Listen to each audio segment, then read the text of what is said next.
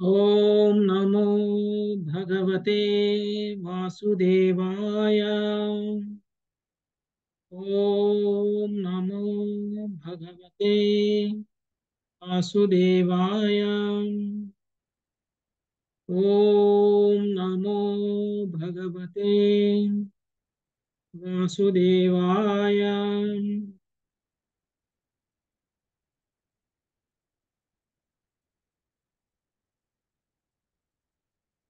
హరే కృష్ణ అందరికీ వెల్కమ్. ఈరోజు శ్రీమద్ భాగవతం మొదటి స్కందం పదవ అధ్యాయం. ఈ పదవ అధ్యాయం పేరు శ్రీకృష్ణుని ద్వారక ఆగమనము అంటే ఈరోజు శ్రీకృష్ణ భగవానుడు హస్తినాపురం నుంచి ద్వారక వెళ్ళడానికి బయలుదేరుతున్నారు. యాక్చువల్గా చూస్తే మొదటి స్కందం మొత్తం కూడా చాలా అద్భుతమైనటువంటి స్కందం. అందులో ప్రభుపాదుల వారి భాష్యాలు కూడా చాలా అద్భుతంగా ఉన్నాయి.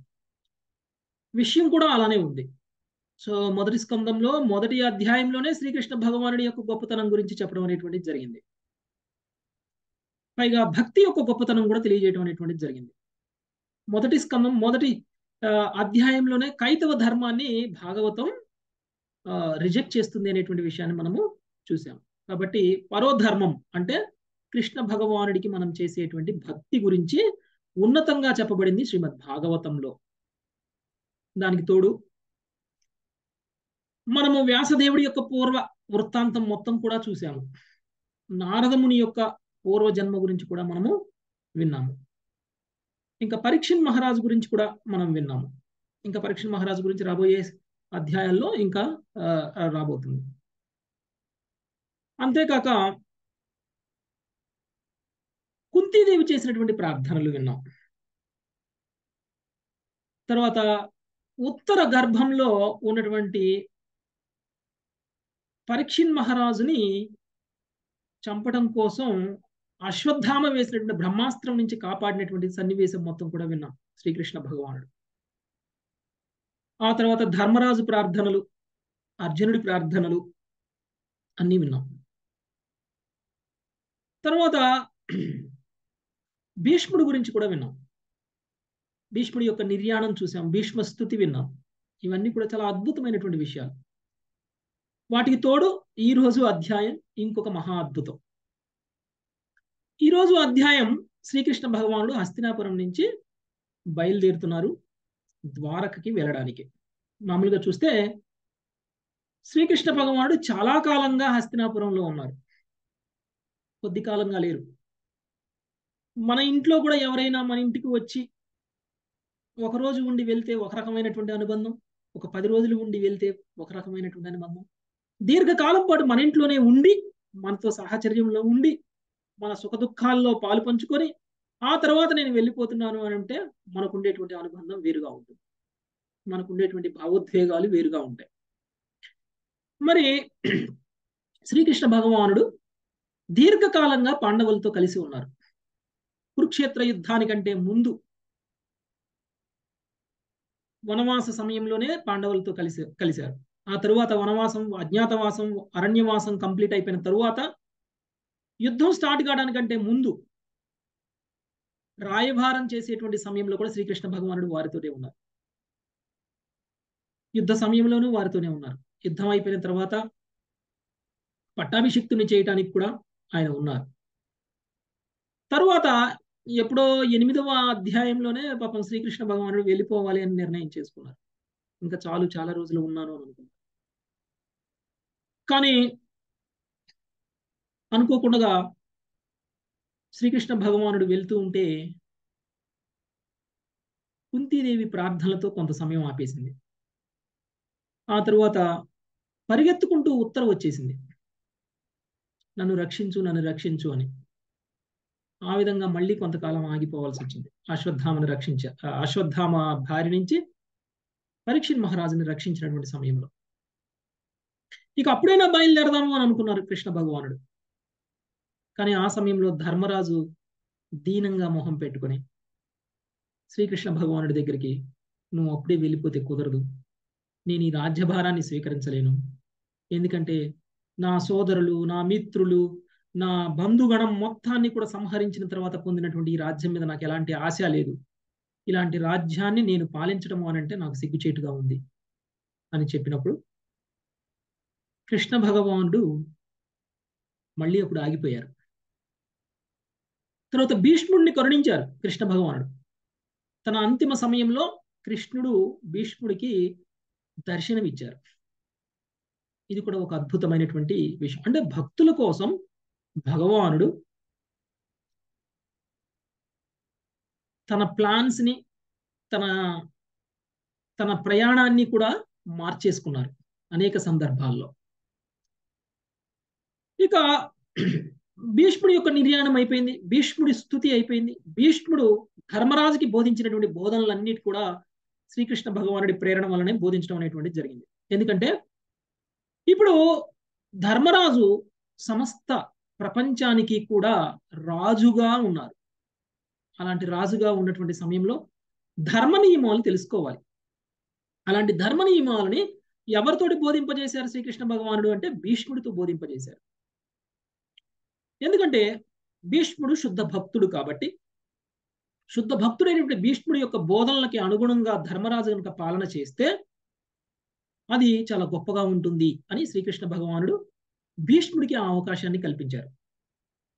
సో ఈ విధంగా ధర్మరాజు కృష్ణుడి ద్వారా విన్నటువంటి బోధనలు భీష్ముడి ద్వారా విన్నటువంటి బోధనలకి అనుగుణంగా తను పాలన చేయడానికి సిద్ధమయ్యారు సమస్త ప్రపంచాన్ని కూడా. ఇది ఇప్పటి వరకు జరిగినటువంటి వృత్తాంతం. అయితే ఇక ఇప్పుడు శ్రీకృష్ణుడు బయలుదేరాలి. ఈ అధ్యాయంలో శ్రీకృష్ణుడు బయలుదేరేటువంటి సన్నివేశం మొత్తం కూడా ఉంటుంది. శ్రీకృష్ణుడు తోటి అత్యంత సామీప్యంలో ఉన్నటువంటి పాండవులు శ్రీకృష్ణుడు బయలుదేరుతున్నటువంటి సమయంలో ఎలాంటి భావాన్ని కలిగి ఉన్నారు? మామూలుగా చూస్తే భగవంతుడితోటి రెండు రకాల భావాలని మనం వ్యక్తం చేయొచ్చు. ఒకటి విరహ భావం అంటే అది విప్రలంభ భావం. రెండవది సంభోగ భావం అంటే భగవంతుడిని కలిసినటువంటి సందర్భంలో వచ్చేటువంటి భావం. అద్భుతమైనటువంటి ఈ అధ్యాయము శుద్ధ భక్తుల యొక్క విప్రలంబ భావం గురించి వ్యక్తం చేయబోతుంది. అంటే పాండవులైతేయే హస్తినాపుర వాసులైతేయే శ్రీకృష్ణ భగవాను ఇప్పుడు కోల్పోతున్నారు. అంటే మిస్ అవ్వబోతున్నారు.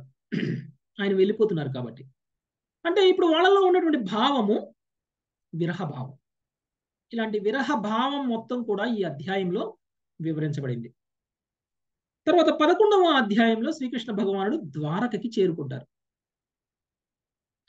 ద్వారకకి చేరుకున్నప్పుడు ద్వారకా వాసుల యొక్క సంభోగ భావాన్ని అక్కడ వ్యక్తం చేయడం అనేటువంటిది జరుగుతుంది.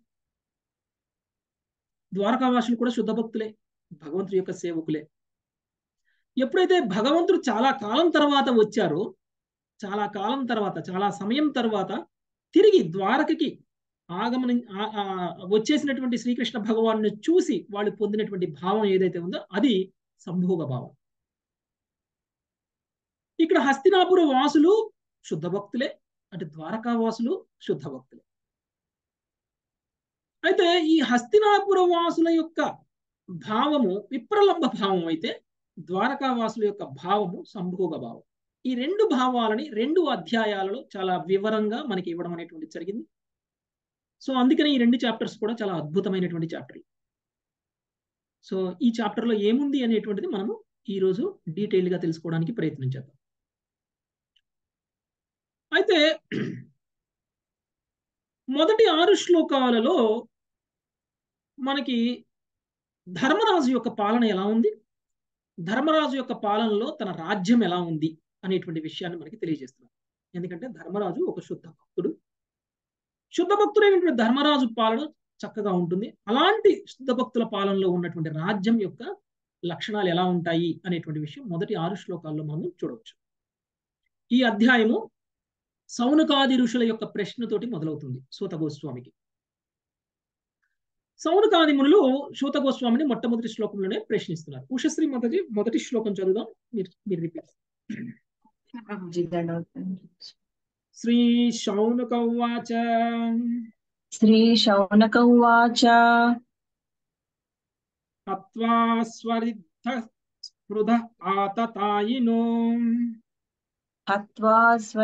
स्पृध आततायि नो युधिष्ठिरो धर्मभृतां वरिष्ठः। युधिष्ठिरो धर्मभृतां वरिष्ठः। सहानुजै प्रत्यवरुद्ध भोजनाम् సహానుజై ప్రత్యవరుద్ధ భోజన పదం ప్రవృత్త కిమకార శీతత కథం ప్రవృత్తः భావము. శౌనకముని ప్రశ్నించెను. తన ధర్మబద్ధమైన పితృ సంపత్తిని అపహరించిన అపహరింప యత్నించిన శత్రువులను దునుమాడిన పిమ్మట ధర్మభృతుడైన ధర్మరాజు సోదరుల సహాయమున ఏ విధముగా ప్రజాపాలనము కావించెను? నిక్కముగా అతడు రాజ్యమును విచ్చలవిడిగా అనుభవించి ఉండకపోవచ్చును. ప్రభుపాద్. సో భాష్యం అవసరం లేదు మాతాజీ. ఓన్లీ ట్రాన్స్లేషన్ వరకు చదువుదాము. భాష్యం నేను ఎక్స్ప్లెయిన్ చేస్తాను. ఓకే. సో పాండవులకి యాక్చువల్గా ధర్మయుతంగా వాళ్ళు హస్తినాపుర సామ్రాజ్యం మొత్తానికి కూడా అధికారం ఉంది కానీ తన సోదరులైనటువంటి కౌరవులందరూ కూడా ఆయన్నికి అధికారాన్ని ఇవ్వకుండా ఆ అధికారాన్ని వాళ్ళు దొంగిలించేశారు. అదే విషయం మనకి ఇక్కడ చెప్తున్నారు. అపహరించేశారు. తన పితృడు పితృ సంపత్తిని అపహరించడం అనేటువంటిది జరిగింది. అంటే ఈ రాజ్యం మొత్తాన్ని కూడా దుర్యోధనుడు దుర్యోధనుడు వాళ్ళ సోదరగణం మొత్తం కూడా అపహరించడం అనేటువంటిది జరిగింది. అలాంటి ధర్మరాజు ఇప్పుడు చక్రవర్తిగా అయ్యారు. అది కూడా శ్రీకృష్ణ భగవానుడి యొక్క కరుణతోటి. మరి చక్రవర్తిగా అయిన తర్వాత తన పాలన ఎలా ఉంది? పైగా ధర్మరాజు ధర్మబద్ధమైనటువంటి వ్యక్తి. యాక్చువల్గా ఎంత గొప్పవాడు ధర్మరాజు అనేటువంటి విషయం తెలుసుకోవడం కోసం మనకి ధర్మరాజు తన దగ్గర ఉన్నటువంటి భౌతిక సంపత్తిని అంతటినీ కోల్పోయినప్పుడు ఎలా ఉన్నారు? తిరిగి తన భౌతిక సంపత్తిని మొత్తం తిరిగి పొందినప్పుడు ఎలా ఉన్నారు అనేటువంటి విషయం మనం అర్థం చేసుకుంటే ఎంత గొప్ప ధర్మయుతమైనటువంటి వ్యక్తి ధర్మరాజు అనేటువంటి విషయం మనకు అర్థం ఆయన పేరే ధర్మరాజు. ఇక్కడ చూడండి ఈ శ్లోకంలో ధర్మ భృతాం వరిష్ట అనేటువంటిది ఉంది. అంటే ఆయన ధర్మాన్ని నిర్వర్తించేటువంటి వాళ్ళల్లో శ్రేష్టమైనటువంటి వాడు అని అర్థం. అంటే చాలా మంది ధర్మయుతులు ఉండొచ్చు. ధర్మబద్ధంగా పాలన చేసేటువంటి రాజులు చాలా మంది ఉండొచ్చు. కానీ అలాంటి రాజులందరిలో కూడా శ్రేష్టమైనటువంటి వాడు ధర్మరాజు. అందుకని తనకు పెట్టినటువంటి పరీక్ష చూడండి. యాక్చువల్గా తను ఈ యొక్క కురు సామ్రాజ్యం మొత్తానికి కూడా చక్రవర్తి. కానీ తను భౌతికంగా అంతా కోల్పోయారు. ఏదో ఒక రాయభారం వలన తనకి ఇంద్రప్రస్థం ఇవ్వబడింది. ఇంద్రప్రస్థం కూడా ఇవ్వలేదు. కాండవ వనం ఇవ్వబడింది. కాండవ వనాన్ని మొత్తం కూడా వాళ్ళు డెవలప్ చేసి ఇంద్రప్రస్థంగా మార్చేశారు. అలాంటి ఇంద్రప్రస్థాన్ని కూడా కోల్పోయారు జూదంలో. ధర్మరాజు పాండవులందరూ కూడా. అదంతా కోల్పోయినప్పుడు వాళ్ళు ఏమన్నా ధర్మాన్ని తప్పారా? ఎక్కడ ధర్మాన్ని తప్పి వాళ్ళు ప్రవర్తించలేదు. అంటే భౌతికమైనటువంటి పొజిషన్స్ ఏదైతే ఉన్నాయో అవన్నీ లేనప్పుడు కూడా ధర్మరాజు ధర్మయుతంగానే ఉన్నారు. ఇప్పుడు కూడా ఏదైతే భౌతికంగా తాను తిరిగి పొందేశారో అంటే ఇప్పుడు తను కోల్పోయినటువంటి రాజ్యం మొత్తాన్ని పొందేశారు. ఇప్పుడు చక్రవర్తి అయ్యారు. స్వయంగా శ్రీకృష్ణ భగవానుడే చక్రవర్తిని చేశారు. పైగా భీష్ముడి ద్వారా ఉపదేశితుడయ్యాడు. సో మరి ఇక ఇప్పుడు ఎందుకు ధర్మయుతంగా ఉండరు? అంటే ఆయన రెండు సందర్భాలలోనూ ధర్మరాజు యొక్క ప్రవర్తన బట్టి మనకు అర్థమవుతుంది. ధర్మాత్మలో శ్రేష్ఠుడైనటువంటి వాడు ధర్మరాజు అని. అలాంటి శ్రేష్టమైనటువంటి ధర్మాన్ని పాలించేటువంటి వ్యక్తి యొక్క పాలన ఎలా ఉంటుంది?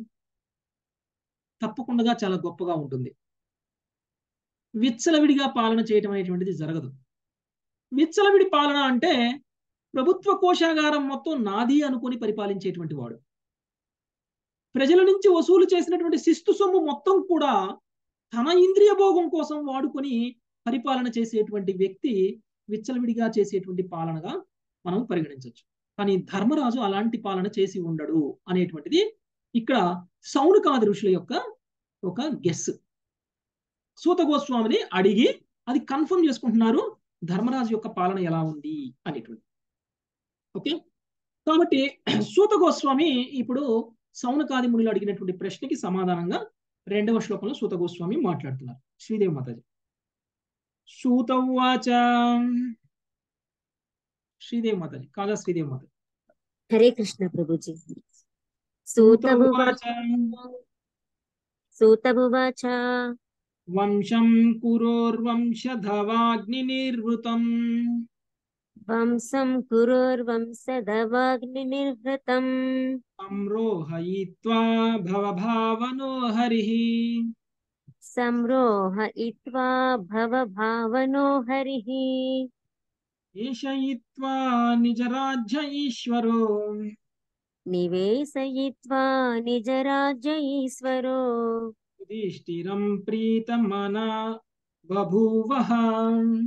యుధిష్ఠిరం ప్రీతమనా సూత గోస్వామి పలికెను జగత్పాలకుడును దేవదేవుడు అగు శ్రీకృష్ణ భగవానుడు ధర్మరాజును అతని రాజ్యమున పునఃస్థాపితిని గావించి క్రోధము అనడి వంశదావాగ్నిచే నశించిన కురువంశమును పునర్జీవితము కావించి సంతుష్ట చిత్తుడయ్యెను. హరే కృష్ణ ప్రభుజీ. శ్రుత గోస్వామి సమాధానం చెప్తున్నారు సౌనకాది ఋషులకి. వంశధావాగ్ని. ఇక్కడ చాలా ఇంపార్టెంట్ పదం ఏమిటి అంటే వంశధావ. కురోర్వంశ ధావాగ్ని నిర్వృతం. ఫస్ట్ లైన్లో వంశం కురోర్వంశ ధా ధవాగ్ని నిర్వృతం. దావాగ్ని అంటే ఒక అడవిలో కొమ్మలు వాటికవి రాసుకొని అగ్ని సృష్టింపబడి అడవి మొత్తం తగలబడిపోవడం. ఇది దావాగ్ని. ఇప్పుడు కురువంశంలో కూడా అలానే జరిగింది. కురువంశంలో కూడా ఇద్దరు సోదరుల మధ్య ఘర్షణ. పాండవులకి కౌరవులకి వచ్చినటువంటి ఘర్షణ. ఈ ఘర్షణ వలన ఏ విధంగా అయితే అడవి మొత్తం దావాగ్నితో తగలబడిపోతుందో ఆ విధంగా కురువంశంలో ఉన్నటువంటి వాళ్ళందరూ కూడా మరణించారు. ఈ యుద్ధంలో. ఒక పాండవులు తప్ప. అలా నశింపబడిపోయినటువంటి ఒక పరిస్థితి ఇప్పుడు ఏర్పడింది. ఇలాంటి పరిస్థితుల్లో శ్రీకృష్ణ భగవానుడు ధర్మరాజుని ఒక రాజుగా నియమించడం అనేటువంటి జరిగింది. పునఃస్థాపించడం అనేటువంటి జరిగింది. ఇదంతా ఎందుకు జరిగింది? ఇదంతా ఎలా జరిగింది? అని అంటే ఇదంతా శ్రీకృష్ణ భగవానుడు ఏర్పాటు చేసినటువంటి ఒక సన్నివేశం. శ్రీకృష్ణ భగవానుడి యొక్క ప్లాన్లో ఒక భాగం ఇది ఆయన తన భక్తులు మాత్రమే పాలించాలి అని అనుకున్నారు ఈ సమస్త ప్రపంచాన్ని. భక్తులు మాత్రమే పరిపాలిస్తే అప్పుడు ఈ ప్రపంచంలో ఉన్నటువంటి ప్రజలందరూ కూడా భక్తులుగా మారేటువంటి అవకాశం ఉంది. భగవంతుడు ప్రతి యుగంలోనూ అవతరించేది ఎందుకు అంటే ధర్మ సంస్థాపన చేయడం కోసం. అలాంటి ధర్మ సంస్థాపన చేసేటువంటి కార్యంలో భాగంగా ఎవరైతే భక్తులు కాదో వాళ్ళందరినీ కూడా కురుక్షేత్ర యుద్ధంలో మరణించేలా చేసేశారు. ఎవరి వల్ల అయితే భక్తికి ఆటంకం కలుగుతుందో అలాంటి వాళ్ళందరూ కూడా కురుక్షేత్ర యుద్ధంలో మరణించేలా వాళ్ళందరినీ అక్కడికి తీసుకొచ్చి పాండవులకి ప్రతిపక్షంలో ఉంచేలా చేసి వాళ్ళందరూ కూడా మరణించేలా చేసేశారు శ్రీకృష్ణ భగవాన్. అంటే పాండవులకి ఎదురుపక్షంలో ఉన్నటువంటి వాళ్ళందరూ కూడా సుమారుగా లౌకికంగా ఉన్నటువంటి వ్యక్తులు. లౌకిక లాభం కోసం వాళ్ళు కర్మలు చేసినటువంటి వ్యక్తులు. ఎవరో కొంతమంది భక్తులు తప్ప. వాళ్ళు కూడా కారణ జన్ములైనటువంటి వాళ్ళు. భీష్ముడు ద్రోణాచార్యుడు లాంటి వాళ్ళు. ఈవెన్ ద్రోణాచార్యుడు కూడా లౌకికమైనటువంటి లాభం కోసమే దుర్యోధనుడికి గురువుగా ఉన్నారు. దుర్యోధనుడి యొక్క సైన్యంలో ఒక సైన్యాధ్యక్షుడిగా కూడా ఉన్నారు ద్రోణాచార్యుడు. ఎందుకున్నారు? ఏంటి ఆయన లాభం? ఏంటి అందులో దాగి ఉన్నటువంటి ఆధ్యాత్మిక రహస్యం? ఏమీ లేదు. ఒకటే ఒకటి. తన కుటుంబ పోషణ. తన కుటుంబ పోషణ కోసం తాను బ్రాహ్మణత్వాన్ని కూడా కోల్పోవడానికి సిద్ధమైపోయారు. చివరికి హస్తినాపుర కురు వంశం తరపున యుద్ధం చేయటం కోసం పాండవులకి ప్రతిపక్షంలో ఉండడం అనేటువంటిది జరిగింది. ఈ విధంగా అనేక మంది యోద్ధలు ఎవరెవరైతే లౌకికంగా పూర్తి జీవితాన్ని గడిపినటువంటి వాళ్ళు వాళ్ళందరూ కూడా మరణించేలా ఒక సందర్భాన్ని ఏర్పాటు చేశారు శ్రీకృష్ణ భగవానుడు. మనం చూడండి తేనెటీగలు ఉదాహరణకి. తేనెటీగలు ఏం చేస్తాయి? చాలా కష్టపడతాయి. తను అనుభవిద్దాము అని చెప్పేసి ఒక్కొక్క పువ్వు నుంచి ఇంకొక పువ్వు మీదకి ఆ పువ్వు నుంచి ఇంకొక పువ్వు మీదకి వాలుతూ వాలుతూ తేనెని సేకరించి తీసుకొచ్చి తేనె తిట్టలో పెడతాయి. ఎప్పుడైతే అది తేనెగా మారిపోయి ఇక ఆ తేనెని ఆస్వాదిద్దాము అనుకునేటువంటి సమయంలో తన తోటి ఈగలే కుట్టి కుట్టి చంపేస్తాయి. వాటిలో ఉన్న ఆ ఈగలు వాటిల్లో అవే కొట్టుకుంటాయి. ఎందుకంటే ఈ తేనె నువ్వు కాదు తాగాల్సింది నేను నేను కాదు తాగాల్సింది నువ్వు నువ్వు కాదు తాగాల్సింది నేను అని అందరూ ఈగలు ఒకదానికి ఒకటి పొడుచుకొని ఒకదానికి ఒకటి కుట్టుకొని చచ్చిపో చివరికి ఆ తేనె తేనెను తాగేది ఎవరు? ఎవరు? మనలాంటి వాళ్ళు. మూడో వ్యక్తి. ఇలానే మనం కూడా జీవితం మొత్తం లౌకికంగా సుఖాన్ని అనుభవించాలి అని చెప్పేసి కష్టపడి కష్టపడి ఏవో సొమ్ముని పోగు చేసి దాచిపెడతాం. దాన్ని అనుభవిద్దాము అనుకునేటువంటి సమయంలో ఇలా సోదరులైతే ఇంకెవరైనా బంధుమిత్రులైతే నీకు లేదు అర్హత నాకు ఉంది నాకు లేదు అర్హత నీకు ఉంది అని ఒకళ్ళ మీద ఒకళ్ళు కొట్టుకొని ఏ విధంగా అయితే కురు వంశంలో దావాగ్ని ఎలా అయితే వచ్చిందో ఆ విధంగా మనం కూడా ఒకళ్ళలో ఒకళ్ళు కొట్టుకొని ఒకళ్ళ మీద ఒకళ్ళు ఈర్ష్యా ద్వేషాలతోటి అనుభవించే సమయం నాటికి అనుభవించలేనటువంటి పరిస్థితికి ఏర్పడుతుంది. ఇది లౌకికంగా ఉన్నటువంటి ఒక పరిస్థితి. లౌకికంగా ఏవో సుఖాలు అనుభవించాలి అని కోరుకొని ఆ కోరికలతోటి మనం కష్టించి పనిచేసినటువంటి వాళ్ళకి ఉండేటువంటి గమ్యం. నిజంగా వాళ్ళు ఎప్పటికీ కూడా కష్టించినంత కాలము సుఖంగా ఉండరు.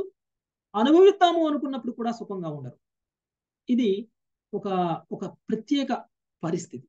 ఇప్పుడు అలాంటి ఒక పరిస్థితిలో కురువంశంలో కూడా యుద్ధం జరగడం అనేటువంటిది జరిగింది. సోదరుల మధ్యలోనే యుద్ధం యుద్ధం. కానీ ధర్మరాజు ధర్మయుతమైనటువంటి వ్యక్తి కాబట్టి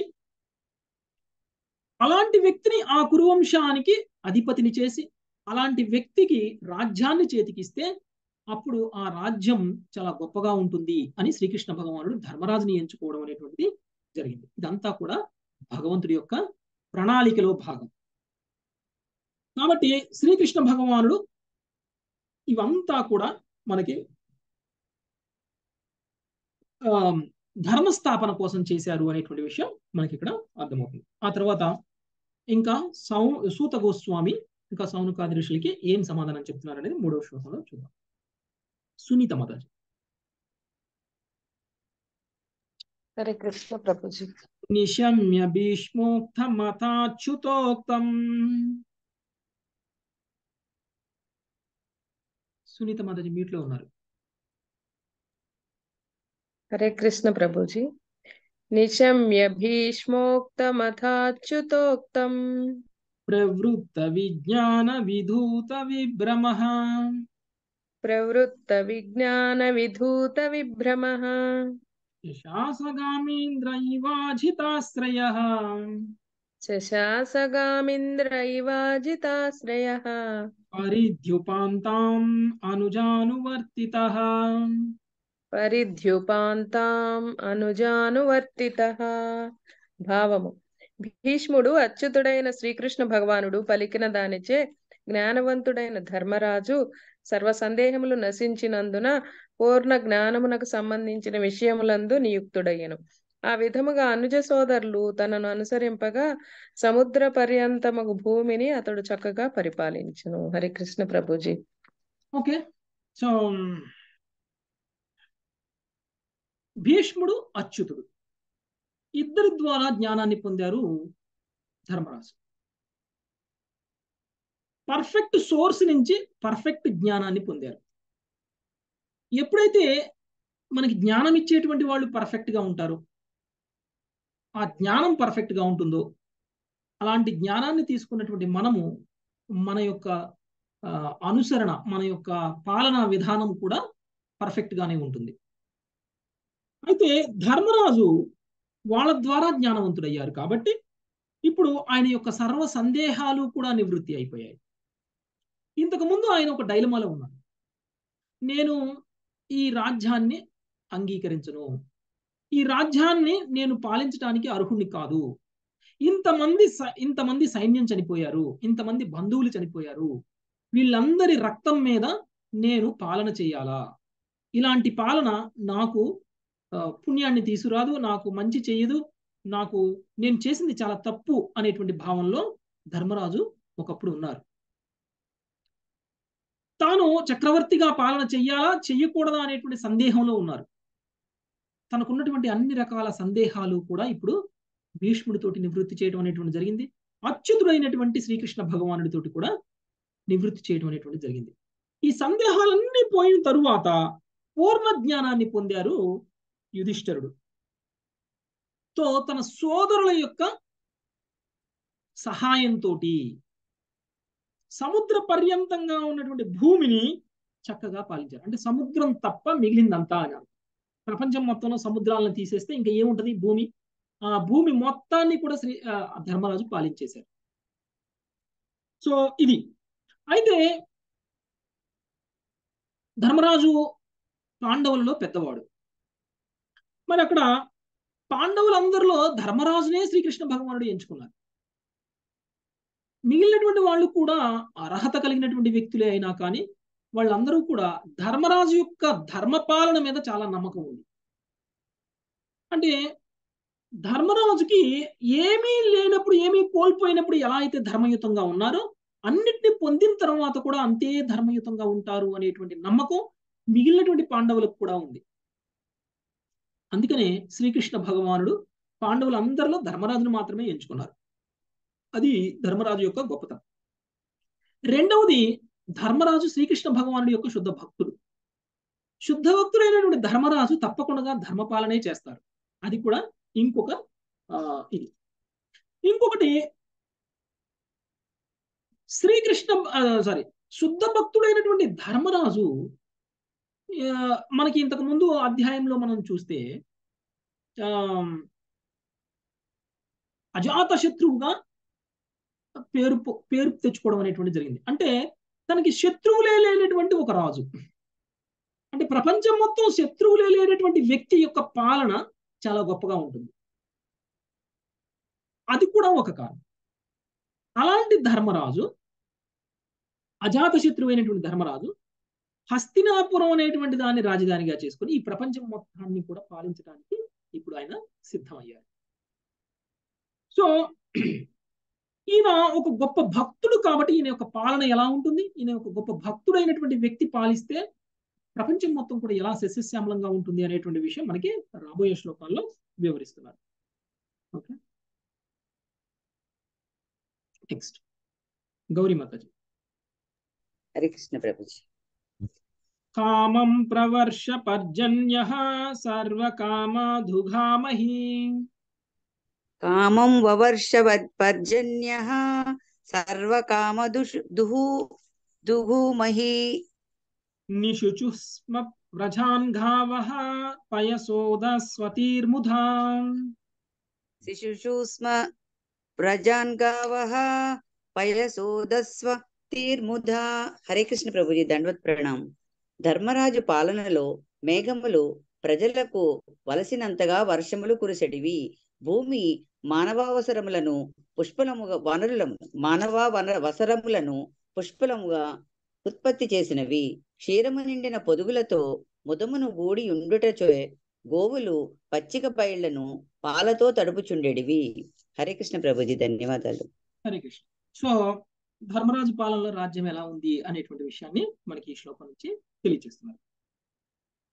మేఘాలు ప్రజలకు కావలసినంతగా వర్షంలు కురిపించాయి.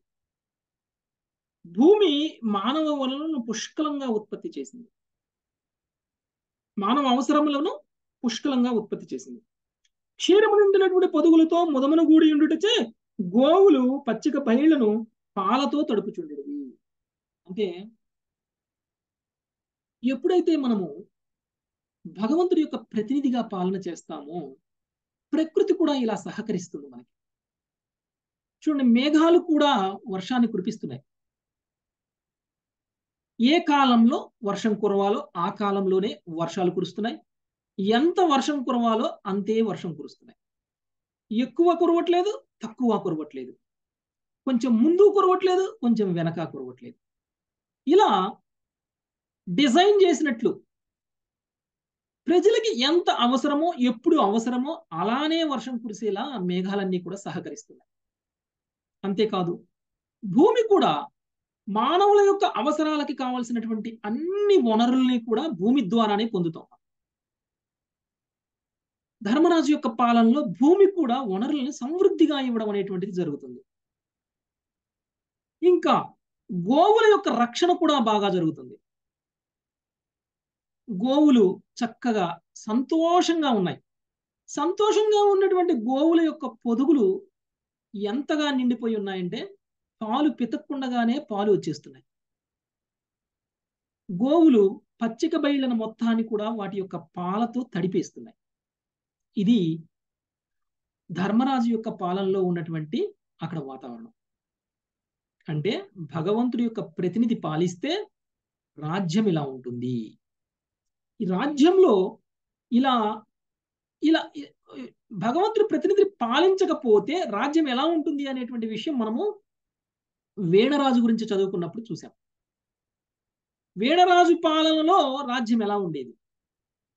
వేణరాజు భగవంతుడికి ప్రతినిధిగా పరిపాలన చేయలేదు. నేనే దేవుణ్ణి అన్నాడు. బ్రాహ్మణులందరినీ యజ్ఞాలు ఆపేయమన్నారు నా కోసం యజ్ఞం చెయ్యండి నన్ను పూజించండి నేనే భగవంతుణ్ణి అని అన్నారు. ఎవరైనా బ్రాహ్మణుడు కనపడి ఎవరైనా యజ్ఞం చేస్తున్నట్టు కనపడితే దండించేవాడు. వీణరాజు రోడ్డు మీదకు వస్తే ప్రజలందరూ భయపడేవాళ్ళు. వీధిలో వీణరాజు తిరుగుతూ ఉంటే భయంకరమైనటువంటి ఒక పులో సింహమో తిరుగుతుంది అనేటువంటి భావనలో ప్రజలందరూ ఉండేవాళ్ళు. ఎందుకంటే ఆ సింహము ఎప్పుడైనా సరే ఆ ప్రజల మీద పడి అపాయాన్ని కలిగించేటువంటి అవకాశం ఉంది. అలానే వీణరాజు కూడా వీధిలో తిరుగుతూ ఉంటే ప్రజలు భయపడి పారిపోయేవాళ్ళు.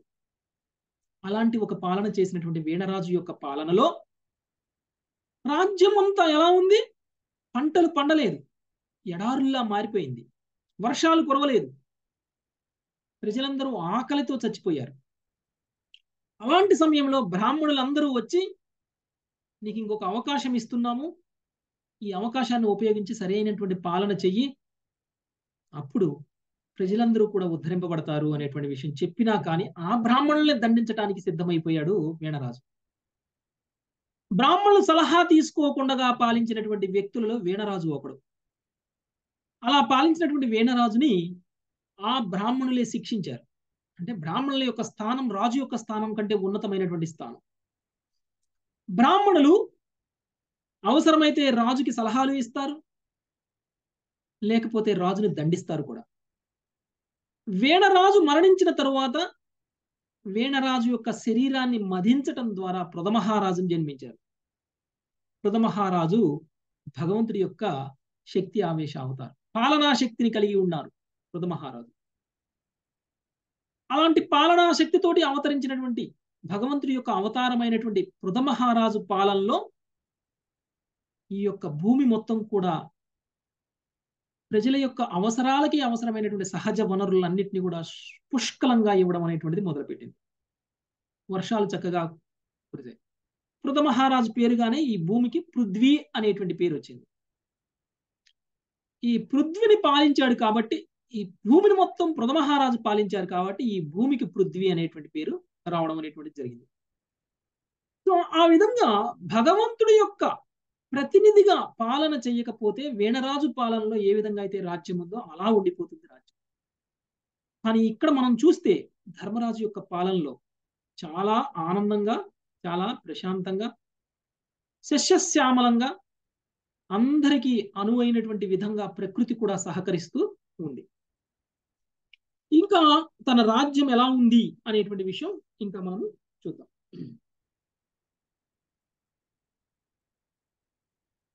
సత్యవతి మాతాజీ.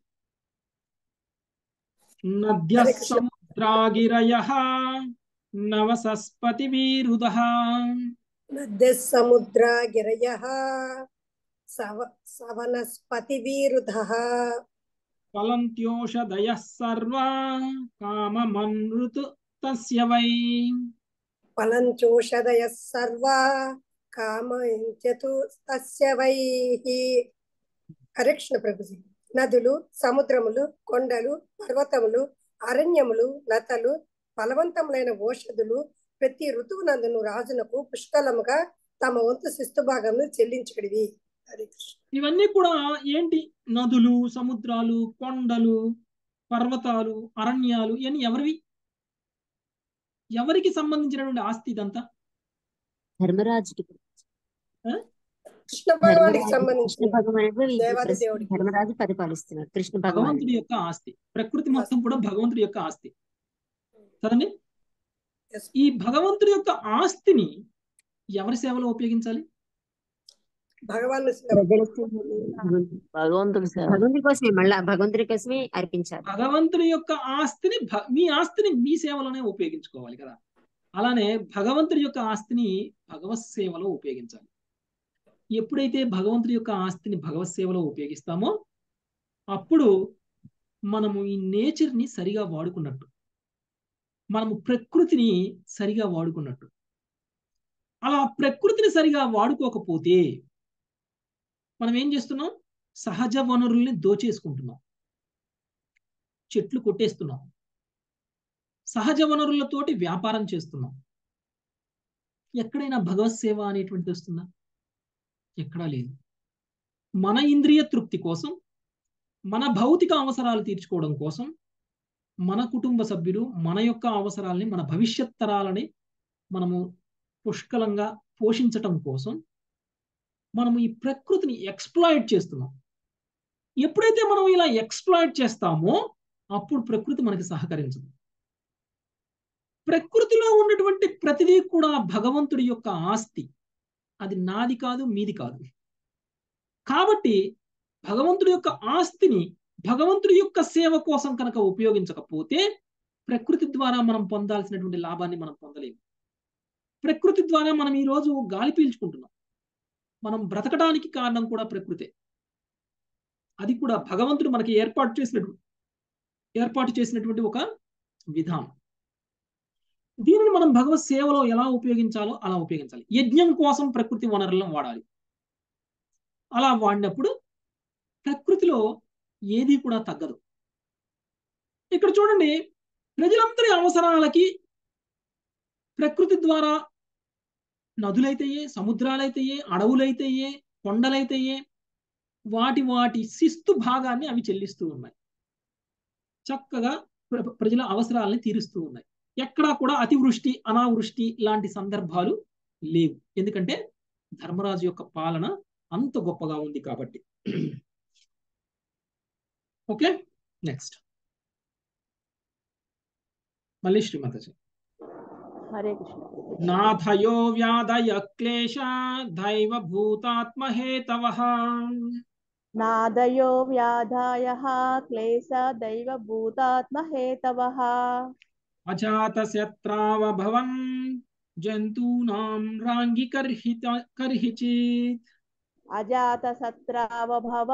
जन्तूनां ధర్మరాజు అజాత శత్రువైన కారణమున జీవులు ఏ సమయమున మనోక్లేశములు వ్యాధులు అధిక శీతోష్ణములచే కలతకు గురి కాలేదు. హరే కృష్ణ ప్రభు. అంటే ఇక్కడ బ్యాలెన్స్డ్గా ఉంది ప్రకృతి వాతావరణం మొత్తం కూడా. మనకి ఒక్కొక్కసారి చూస్తే ఎండాకాలంలో వర్షాలు కురుస్తాయి. చలికాలంలో కూడా వేడిగా అనిపిస్తుంది. లేదు అంటే ఆ వర్షాకాలంలో కూడా చలి పుడుతుంది. ఇలాంటి కొన్ని పరిస్థితులు మనకి ఇప్పుడు ఉన్నాయి ఎందుకంటే ప్రకృతి అసమతౌల్యత అనేటువంటిది ఏర్పడింది. కానీ అలా ప్రకృతి అసమతౌల్యత అనేటువంటిది ధర్మరాజు పాలనలో లేదు. ఎంతకాలం సమ్మర్ ఉండాలో అంతకాలం సమ్మర్ ఉండేది. ఎంతకాలం వర్షాకాలం ఉండాలో అంతకాలం వర్షాకాలం ఉండేది. ఎంతకాలం ఆ, చలికాలం ఉండాలో అంతకాలమే చలికాలం ఉండేది. ప్రజలందరికీ కూడా ఆరోగ్యంగా ఉన్నారు. మామూలుగా చూస్తే ఈ భౌతిక విషయంలో ఎవరికైనా సరే మూడు రకాల క్లేశాలు కంపల్సరీ. ఆధ్యాత్మిక ఆది భౌతిక ఆది ఈ మూడు క్లేశాలని తప్పించుకోవాలి అంటే మనం ఎక్కడికి వెళ్ళాలి? ఈ భౌతిక విషయం దాటి ఆధ్యాత్మిక విశ్వానికి వెళ్ళాలి. ఆధ్యాత్మిక విశ్వానికి వెళ్ళాలి అని అంటే మనలో ఆ అర్హత రావాలి. కానీ ధర్మరాజు పాలనలో ఆది భౌతిక ఆధ్యాత్మిక ఆది దైవిక క్లేశాలు లేకుండా పాలన చేశారు. అంటే విశ్వం మొత్తాన్ని కూడా పాలిస్తున్నటువంటి ధర్మరాజు విశ్వాన్ని ఆధ్యాత్మికంగా మార్చేశారు కష్టాలు లేనటువంటి ఒక ప్రదేశంగా మార్చేశారు వైకుంఠంలో మాత్రమే ఎలాంటి కష్టాలు ఉండవు. అలాంటిది భౌతిక విషయం అంటేనే దుఃఖాలయం. అలాంటి దుఃఖాలయంలో దుఃఖాలు లేకుండా పాలించగలగడం అంటే అది ఓన్లీ ధర్మరాజుకు మాత్రమే సాధ్యమే. ధర్మరాజు పాలనలో ఎలాంటి కష్టాలు లేవు. పూర్తి ఆరోగ్యంతో ప్రజలందరూ ఉన్నారు. రోగాలు లేవు. సంతోషంగా ఉన్నారు ప్రజలందరూ కూడా. ఇది ఒక భక్తుడు పాలించేటువంటి పాలనా విధానం. ఇలా భగవంతుడు ప్రతినిధి మాత్రమే పాలించగలడు. భగవంతుడు ప్రతినిధి పాలిస్తే భౌతిక విశ్వం కూడా వైకుంఠంలా మారుతుంది. లేదు అంటే నరకంలా మారిపోతుంది. ప్రస్తుతం గ్లోబల్ వార్మింగ్ అని ప్రస్తుతం పొల్యూషన్ మనకి కొంచెం బయటికి వెళ్ళి కొంచెం డస్ట్లోకి వెళ్తేనే మనకి ఎలర్జీ వచ్చేస్తుంది. ఆరోగ్యం అనేటువంటిది పూర్తిగా లేదు. మనం ప్రకృతి ద్వారా పొందుతున్నటువంటి ఏవైతే కూరగాయలు పండ్లు ఉన్నాయో కూడా ఇవి కూడా కలుషితమైపోయాయి మందులతోటి. మనం సహజంగా పొందాల్సినటువంటి దాంట్లో ఏది కూడా సహజత్వం అనేటువంటిది లేకుండా అయిపోయింది. ఇలాంటి ఒక పాలనా విధానం వల్ల ఇలాంటి ఒక పరిస్థితుల్లో మనం బ్రతుకుతున్నాం కాబట్టి మన ఆరోగ్యాలు కూడా నశించిపోయాయి. అప్పట్లో అలా లేదు ధర్మరాజు పాలనలో. చాలా గొప్పగా ఉంది ధర్మరాజు పాలన. సహజంగానే ప్రకృతి ద్వారా పొందాల్సినటువంటి పండ్లు కూరగాయలు అన్నీ కూడా సమృద్ధిగా లభిస్తున్నాయి కాబట్టి వాటిని తిన్నటువంటి ప్రజలందరూ కూడా పూర్తి ఆరోగ్యంతో ఉండడం అనేటువంటిది జరిగింది. కాబట్టి అక్కడ ధర్మరాజుని అజాత శత్రువు అనేటువంటి విషయం కూడా చెప్పడం అనేటువంటిది జరిగింది. అజాత శత్రువు అంటే శత్రువే లేనటువంటి వ్యక్తి. ఒక శత్రువే లేనటువంటి వ్యక్తి అంటే ఒక మనిషికి మనిషే శత్రువు అవ్వాలని ఏం లేదు. ఒక మనిషికి జంతువులు శత్రువులు కావచ్చు మనిషికి దేవతలు శత్రువులు కావచ్చు మనిషికి ప్రకృతి కూడా శత్రువు కావచ్చు ఒక్కొక్క సందర్భంలో. అంటే తనని అందరూ లైక్ చేశారు ఇప్పుడు. అజాత శత్రువు అంటే తనకి ప్రకృతి కూడా సహకరిస్తుంది ప్రకృతి కూడా మిత్రులే అయిపోయారు. అందుకనే ప్రకృతి ద్వారా పొందాల్సినటువంటి ప్రతిదీ కూడా పుష్కలంగా లభిస్తుండడం వల్ల ధర్మరాజు యొక్క పాలనలో రాజ్యం మొత్తం కూడా సస్యశ్యామలంగా ఉంది. ఇది ఆరు శ్లోకాల వరకు ధర్మరాజు పాలనలో తన రాజ్యం ఎలా ఉంది అనేటువంటి విషయాన్ని వివరించారు. ధర్మరాజు భీష్ముడి ద్వారా కృష్ణుడి ద్వారా పొందినటువంటి ఉపదేశాలకి అనుగుణంగా భగవంతుడి యొక్క ప్రతినిధిగా భక్తుడుగా పాలన చేయటం వల్ల తన రాజ్యంలో ఉన్నటువంటి ప్రజలందరినీ కూడా ఆధ్యాత్మిక ఉన్నతిని పొందే విధంగా పాలన చేసి అందరినీ ఆధ్యాత్మిక స్థాయిలో ఉంచి ప్రకృతి సమతౌల్యంతో ప్రజలందరికీ ప్రకృతి ద్వారా పొందాల్సినటువంటి అన్ని వనరుల్ని కూడా పుష్కలంగా పొందేలా చేయగలిగారు ధర్మరాజు. ఇక ఇప్పుడు ఏడవ శ్లోకంలో శ్రీకృష్ణ భగవానుడి యొక్క ప్రయాణం మొదలవుతుంది. ఇప్పుడు విప్రలంబ భావన అనేటువంటిది స్టార్ట్ అవుతుంది. అసలు ఈ అధ్యాయంలో మెయిన్ అంశం అనేటువంటిది ఇక్కడ స్టార్ట్ అవుతుంది. ఇప్పటి వరకు కూడా ఓన్లీ ఇంట్రడక్షన్. ధర్మరాజు యొక్క పాలనలో రాజ్యం ఎలా ఉంది అనేటువంటి విషయాన్ని మనము చర్చించాము. కానీ యాక్చువల్గా విరహ భావము పాండవులలో ఉన్నటువంటి విరహ భావం ఏమిటి? కృష్ణుడు వెళ్ళిపోతుంటే వాళ్ళు ఎలా ఫీల్ అయ్యారు అనేటువంటి విషయాన్ని మనము ఏడవ శ్లోకం నుంచి చూద్దాం. రమేష్ ప్రభుజీ. ఉషిత్వా హస్తిన పురేన్ ఆసాన్ కతిపయాన్ హరి ఉషిత్వా హాస్తిన పురే మాసాన్ కతిపయాన్ హరి సుహృదాం చ విశోకాయాం స్వసుశ్చా ప్రియకామ్యయా सुहृदां च विशोकाय स्वसुश्च ప్రియకామ్యయ తన బంధువులను తన సోదరి అయిన సుభద్రను ఆనందపరచుటకు శ్రీకృష్ణుడు కొలది మాసములు హస్తినాపురము నందే వసించున్నాడు హరే కృష్ణ ఓకే యాక్చువల్గా శ్రీకృష్ణ భగవానుడు ద్వారక వదిలేసి హస్తినాపురానికి వచ్చి పాండవులతో ఉండిపోవడానికి కారణము యుద్ధం. పాండవులకి కౌరవులకి మధ్య నెలకొన్నటువంటి ఒక పరస్పర వ్యతిరేక భావన వలన వాళ్ళిద్దరూ రాజ్యం కోసం చేస్తున్నటువంటి సంఘర్షణ వలన పాండవులకి సహా సహాయం చేయడం కోసం శ్రీకృష్ణ భగవానుడు ద్వారక వదిలి హస్తినాపురానికి రావడం అనేటువంటిది జరిగింది. అయితే ద్వారక వదిలి హస్తినాపురానికి వచ్చినటువంటి పర్పస్ ఎప్పుడో సాల్వ్ అయిపోయింది. కురుక్షేత్ర యుద్ధానంతరం పాండవులు గెలిచారు కౌరవులు చనిపోయారు. ఇంకా అప్పుడే తను వదిలేసి వెళ్ళిపోవచ్చు. హస్తినాపురాన్ని వదిలేసి వెళ్ళిపోవచ్చు. కానీ వెళ్ళలేదు. ఎందుకు వెళ్ళలేదు? కురుక్షేత్ర యుద్ధంలో అభిమన్యుడు చనిపోయాడు. అభిమన్యుడు శ్రీకృష్ణ భగవానుడికి మేనల్లుడు. అభిమన్యుడు సుభద్ర యొక్క పుత్రుడు.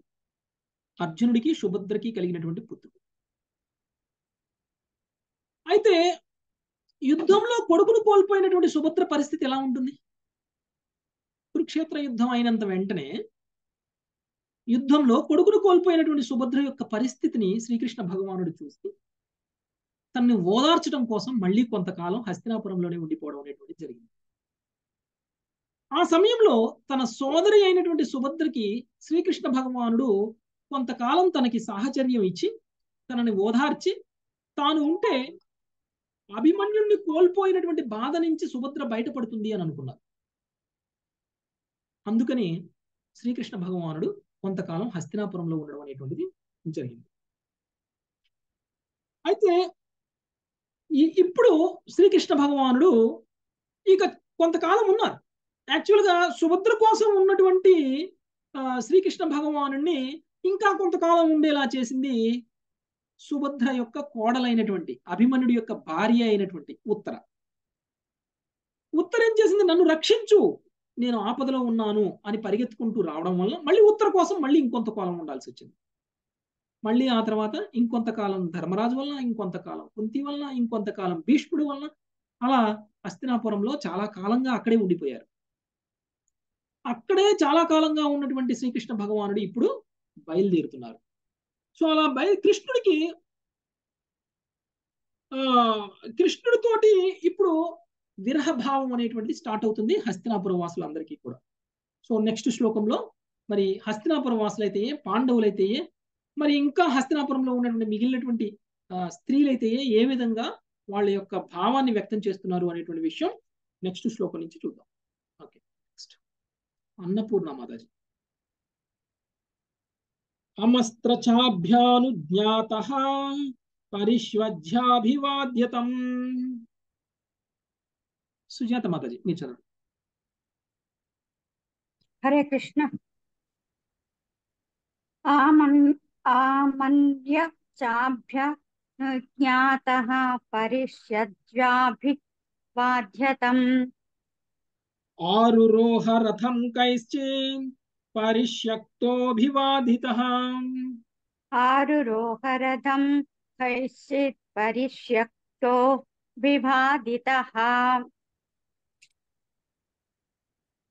శ్రీకృష్ణుడు అనుమతిని కోరి ధర్మరాజుతే అనుమతింపబడినప్పుడు ఆ దేవదేవుడు అతని పాదముల చెంత రాలి వందనములను అర్పించను. పిదప ధర్మరాజు అతని ఆలింగనము చేసుకునను.